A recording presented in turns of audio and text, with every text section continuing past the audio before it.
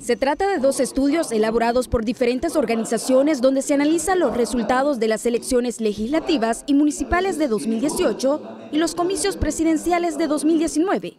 Entre los hallazgos se destaca una baja en la tasa de participación electoral.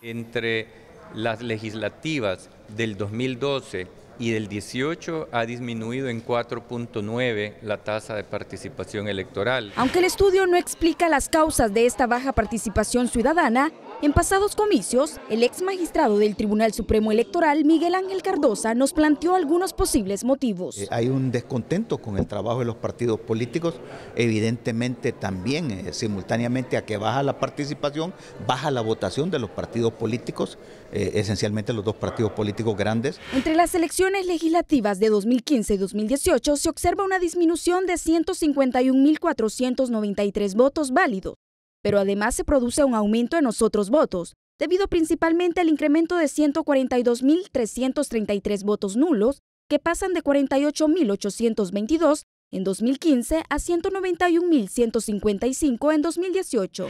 El porcentaje de votos nulos con respecto al total de votos emitidos para las elecciones legislativas se incrementa en 6.0%, pasando de 2.06% en 2015 a 8.06% en 2018.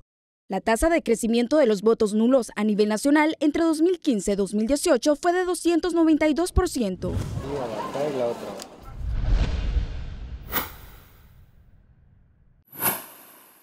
Entre las elecciones presidenciales del 2004 y las del 19, en un periodo prácticamente de 15 años, ha disminuido la tasa de participación electoral en prácticamente 15 puntos. La tasa de participación electoral para las elecciones presidenciales de 2019 fue de 51.88%. Entre la primera vuelta de las elecciones presidenciales de 2014 y las de 2019 se observa un aumento de 13.056 votos válidos, pero además se produce una disminución de 20.952 en los otros votos, que pasan de 52.138 en 2014 a 31.186 en 2019. El porcentaje de votos nulos con respecto al total de votos emitidos para la primera vuelta de las elecciones presidenciales de 2014 fue de 1.25% y pasa a 0.96% para el 2019, generándose una disminución de menos 0.29% en los votos nulos.